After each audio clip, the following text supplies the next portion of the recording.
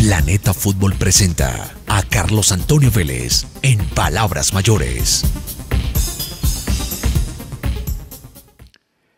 César Luis Menotti dijo alguna vez, un equipo inteligente es el que está preparado para lo inesperado. Al otro, todo lo inesperado le confunde, no está preparado. Cuando algo nuevo ocurre, y siempre ocurre algo nuevo, aunque no sepamos cuándo, hay que estar preparados. Eh, acabo de escuchar a Mayer, al profe Candelo, nuevo técnico del Deportivo Cali, hablando del señor juez Gallo Gallito. Y debo decirle a él y a todos los demás y a todos los que estén interesados que el VAR solamente interviene, profesor Mayer, cuando hay un error claro y manifiesto. Y ayer en la pena máxima que le dieron al Medellín, no había error claro y manifiesto. En la pena máxima que cobró el Deportivo Cali, sí interviene el VAR porque el brazo está separado del cuerpo y se lo quiere mostrar al, juez. La primera toma eh, no es tan clara como la segunda, la tercera y la cuarta. En esa infracción hay duda de parte del árbitro y el VAR la esclarece. En la segunda pena máxima no hay ninguna duda y como no hay ninguna duda, el VAR no interviene. Le voy a leer el texto, que es muy breve, que la International Board le entrega a los árbitros en cuanto a VAR se refiere. En penas máximas, ¿cuándo se usa? Cuando el árbitro sanciona como penal una infracción que no era tal o una falta cometida fuera del área que no es el caso. El árbitro no sanciona como penal una infracción que sí era tal o una falta cometida dentro del área. No es el caso. El balón ha salido del campo en la jugada de penal. No es el caso. Existe un fuera de juego en la jugada de penal. No es el caso. Existe una falta previa del atacante en la jugada de penal no es el caso. Fin de la emisión. En esos cinco puntos está esclarecido el momento en el que el VAR interviene. No es que el VAR intervenga en unas y en otras no por capricho, que fue lo que, pues me pareció entenderle al profe Mayer, ¿no? No, no, no, no es de capricho. No, es simplemente porque el protocolo lo dice. Cuando el árbitro pita algo, como penal que no fue, inmediatamente le advierte el VAR. Le dice, hombre, mire, nosotros creemos que no hubo falta, ¿por qué no la revisa? O venga a verla. Y en el otro evento es cuando se omite una infracción que es pena máxima, inmediatamente el VAR le dice, venga, eso es falta, eso es pena máxima. ¿Mm? Tiene que haber un error claro y manifiesto de parte del árbitro en la decisión que tome a favor de penalizar o no para que el árbitro intervenga, para que el VAR intervenga. De resto, y generalmente en el tema penas máximas, el VAR respeta el criterio arbitral, porque es que hay unas, unas, unas acciones que son de interpretación por parte del árbitro. Y si él ve penal, es penal es penal. Nada más, el VAR no interviene. El VAR interviene cuando el árbitro toma esa decisión o no la toma en la eventualidad de que sea pena máxima y la verdad sea clarísima, clarísima en contra de su decisión. ¿Ya? En lo de Buletis, eso es un penalazo, es un penalazo, además cobrado con una altísima categoría de Marrugo. No me extraña, Marrugo es un gran jugador. Y del otro lado, también muy bien cobrado por parte de Velasco. Y pera máxima clara, los brazos están abiertos. Es que cuando vas a enfrentar un duelo dentro del área, hay que esconder los brazos, hay que pegarlos al cuerpo. Lo aconsejable es ponerlos por detrás. La posición natural no es la del aleteo, no es la del pájaro o el águila que abre las alas, ¿no? Ahí no vas a volar, vas a marcar un balón. Si amplías, si quieres, si quieres volar, pues obvio, abres los brazos, inténtalo.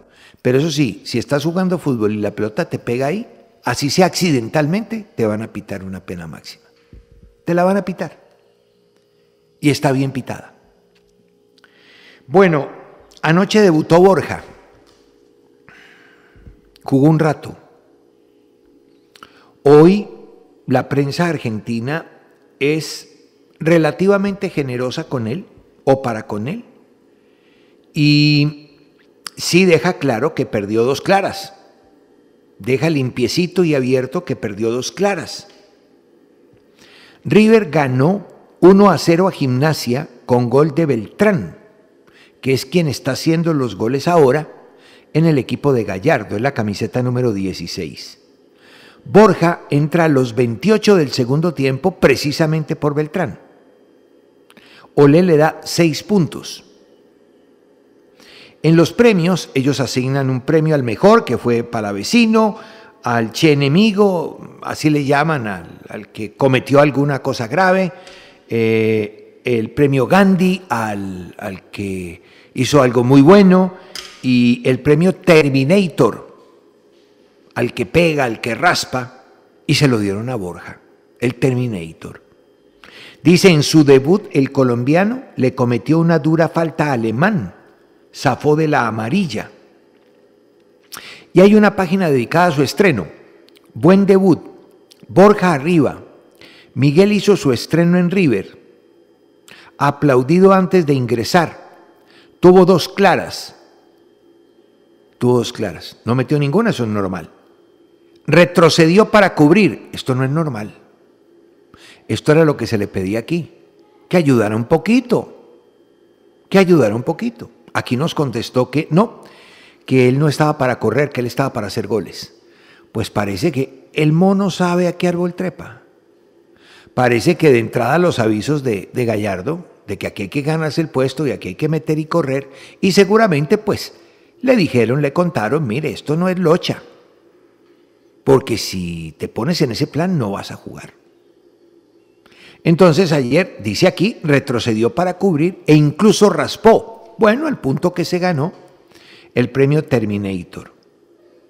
Y el gol, estuve cerca, dijo, y reconoció que Gallardo lo motivó a venir. Le puso dos pelotas de gol. Ese muchacho que se estrenó ayer, Solari. Jugó 28 minutos y le dio dos pelotas de gol a Borja. Borja no metió ninguna de las dos. De Borja, ya en la valoración, dice lo siguiente.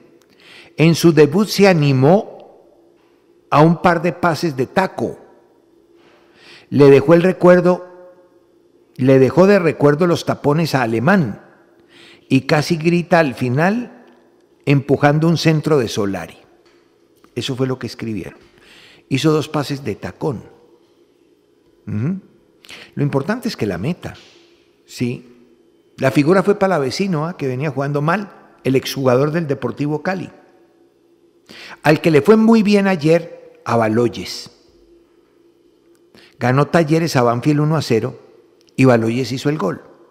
Lo hizo al minuto 16 después de un cabezazo de su compañero Girotti que pega en el palo, palo izquierdo, y va hacia él y él impacta la puerta y logra el gol de la victoria.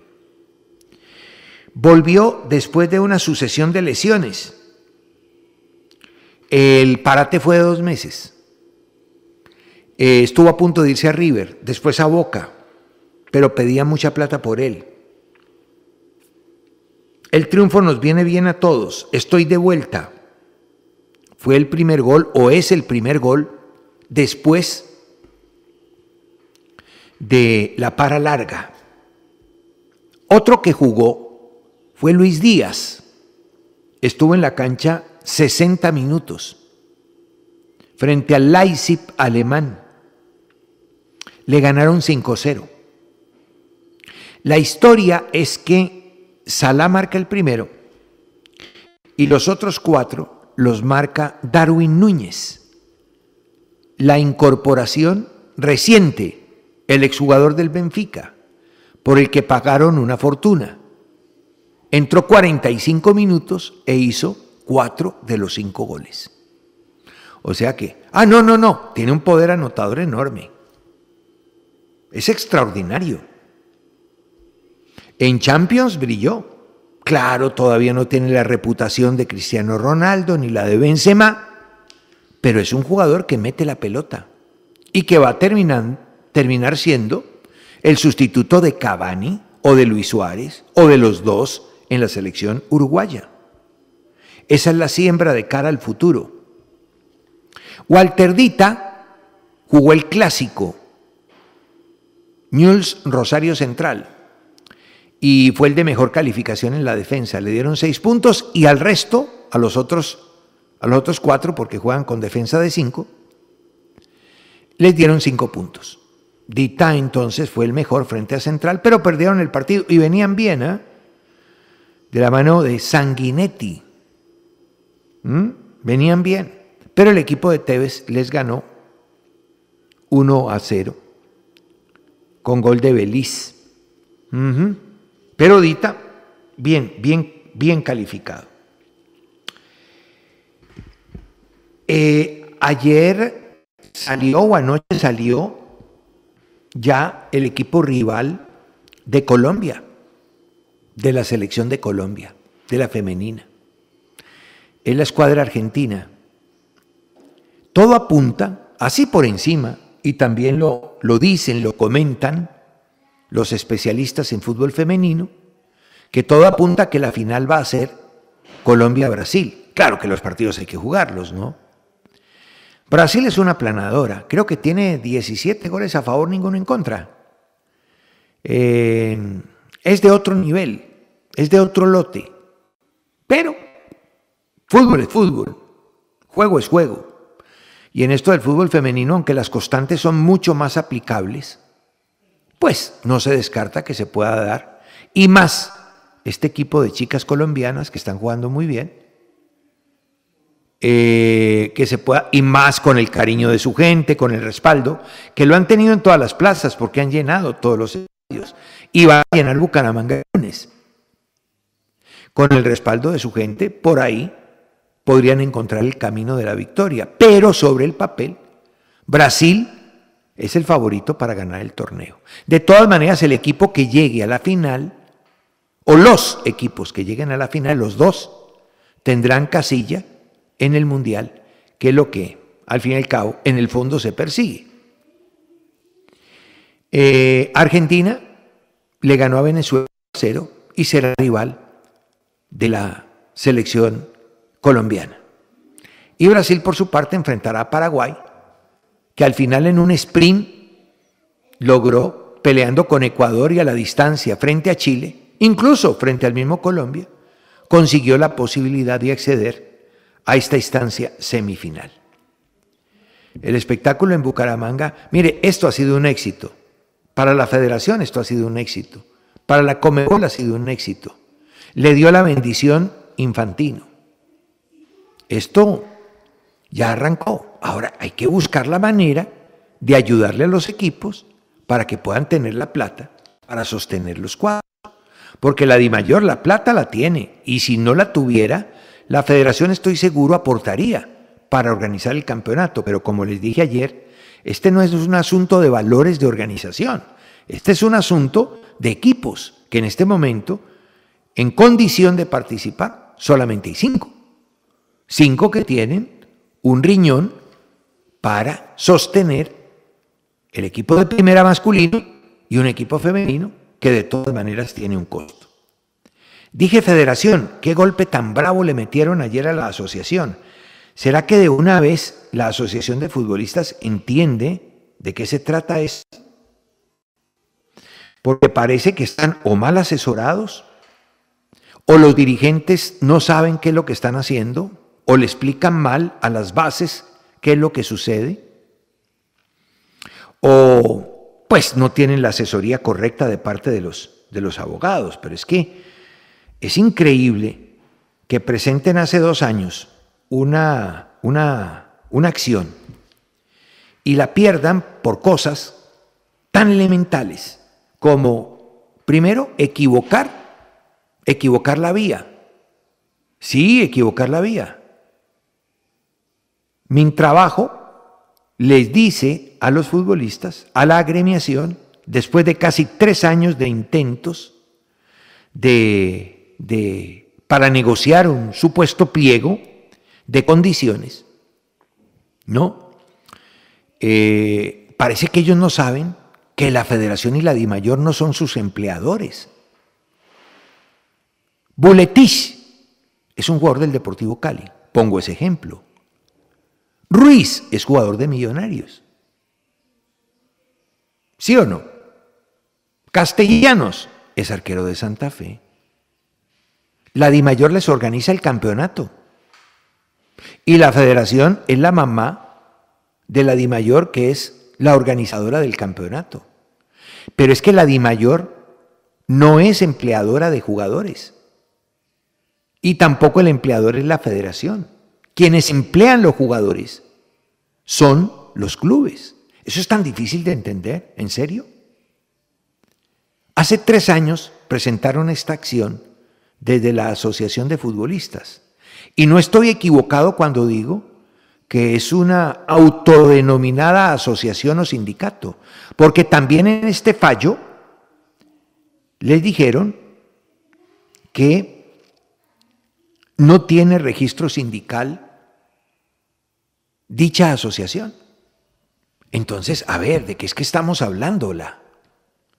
O sea que todo este tiempo, las bases, o sea, los jugadores de fútbol, han sido, pues no va a decir engañados, pero han recibido un discurso equivocado, porque siempre les han dicho que es un sindicato que les va a proteger todos sus derechos en caso de ser vulnerados. Pero ocurre que, como, como sindicato, no tienen registro. Y es necesario el registro. Incluso, terminando el escrito, lo remiten a la ley. ¿Mm? Les dicen que para que prospere un pliego de condiciones se requiere que los futbolistas de cada club constituyan un sindicato. Este deberá ser integrado, según el artículo 359 del Código Sustantivo del Trabajo, por un número no inferior de 25 afiliados, el cual deberá tener unos estatutos, poseer personería jurídica y dentro de los cinco días hábiles desde su fundación, presentar la inscripción del mismo ante el Ministerio del Trabajo. O sea que aquí lo que tienen que hacer es un sindicato en cada club. Bueno, si es que lo quieren hacer, lo pueden hacer, o sienten que deben hacerlo. Y ya después me imagino que esa asociación que hoy dice que nuclea a, a 1.200 jugadores, pues lo que tendría que hacer sería nuclear a todos esos sindicatos de todos los equipos para tener alguna representatividad, digo yo. Pero la lógica de la ley es que el sindicato que se arme, por ejemplo, en Águilas Doradas, sea el que resuelva los problemas en Águilas Doradas, no en Millonarios ni en el Cali, ni en Nacional, ni en el Tolima. Entonces, a uno sí le preocupa que a estos muchachos les han dado un mensaje equivocado.